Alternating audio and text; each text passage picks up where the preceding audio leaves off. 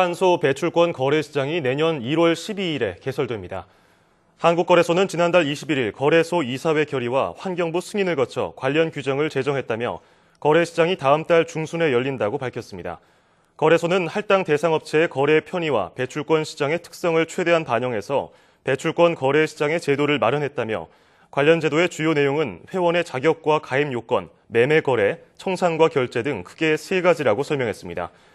회원으로는 할당 대상 업체 525개사와 공적 금융기관인 한국산업은행과 중소기업은행, 한국수출입은행 등이고 금융투자업자와 일반 투자자는 오는 2021년부터 참여할 수 있습니다.